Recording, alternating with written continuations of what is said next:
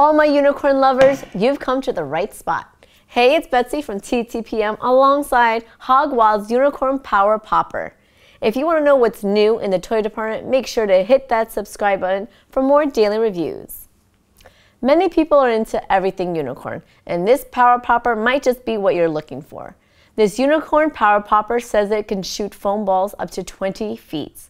All you need to do is pump to shoot. Air-powered pump action launches the eight rainbow balls faster and further. In order to load or reload, just lift up the tail and load in the rainbow balls. The soft foam balls are safe for both indoor and outdoor play. This is a fun popper for children ages 4 and up. If your child is into unicorns, they'll definitely enjoy this toy. What do you think about the Unicorn Power Popper? Have you checked out Hog Wild's other poppers? Let me know in the comments below.